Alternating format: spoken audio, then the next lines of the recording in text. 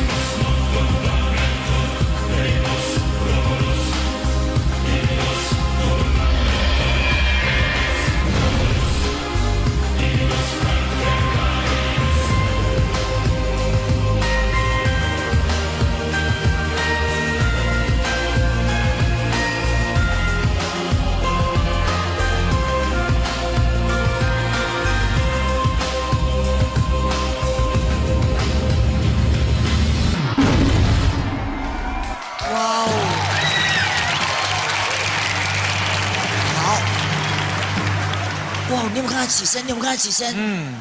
呃，对不起，你们可不可以再躺下，再起身一次给我们看一下，好不好？Ending pose。躺，哇，哦，好有弹性，哇，每一颗都这样起身的耶。好厉害。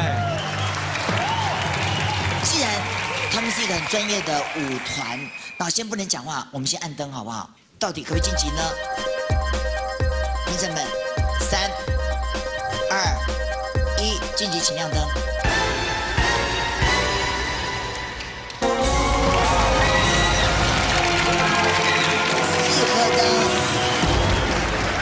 你们现在可以讲话了吗？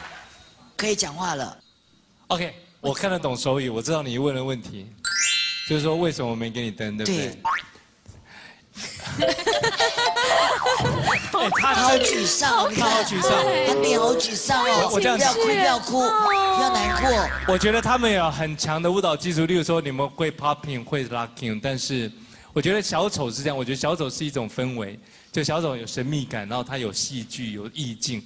我觉得你们有，但是少了一些 story。如果有故事的有，很棒哎，再多他一点。张力很足哎。有很从头到尾都是一个故事非常好哎，你觉得呢？我觉得很好，因为其实而且戴着面具跳舞有它一定的难度，对因为你的视线会受限。可是他们其实还是有情绪跟故事在里面的。对他连那个肢体的那个情绪都好很清楚细，微的手指头都在演，都在演哎。而且我们没看过穿这样衣服来跳这个有故事性的舞蹈的这个舞团，我觉得很特别，他们的服装也很特别。OK，那我你们们可以真的很棒了可。以看，可以看真面目吗？我再补一个灯了，五个灯了。啊，好，哇哇，发狂了，发狂了，发狂了！哦哦哦哦哦哦开心了，好开心了。开心了。但是你们要让我们看你们的真面目吗可以？看吗？可以看吗？不行啊，不行，因为我觉得这样很神秘。专业哦。我觉得这样还不错。为什么他们可以不不可以看？因为他们可以换团员嘛，啊？对，谁是？喂，对不对？对啊，这样还是有谁知道他们但是你看，每一个人都有他们的肢体动作，你们太完美好棒了，恭喜晋级。